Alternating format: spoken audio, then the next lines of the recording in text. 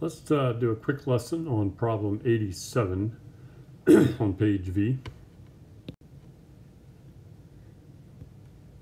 Read the problem with me here. It says, how much heat, that's energy, that's E, is produced each hour by an electric heater that draws 9.5 amps. Hopefully you recognize by now that that is current.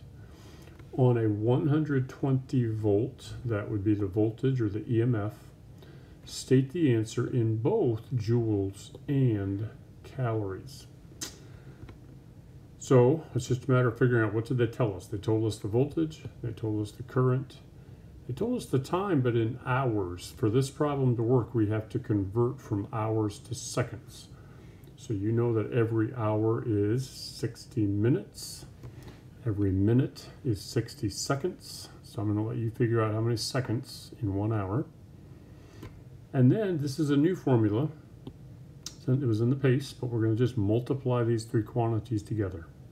Okay, so that's pretty easy. You get the joules. And then what um, you might have missed in reading page 29 in your PACE is the conversion factor. So I'm just pointing this out to you. It's in your PACE.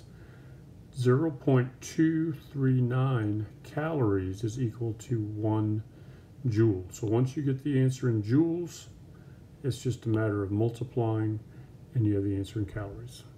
Okay, so I don't think that problem's too hard. On the other hand, problem 88 is very hard. Here we go.